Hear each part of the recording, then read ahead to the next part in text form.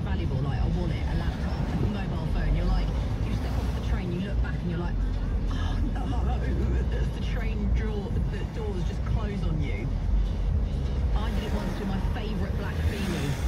Absolute tragedy. I saw it just sitting there on the seat as the doors closed and it drove off and I was like, I was calling around lost property. Even got shamed by the lady in lost property. I was like, hello, I'm calling up about my beanie. And she was like, what does it look like? And I was like, it's my favourite one. Um, it's just, it's black. And she was like, any other features? I was like, no.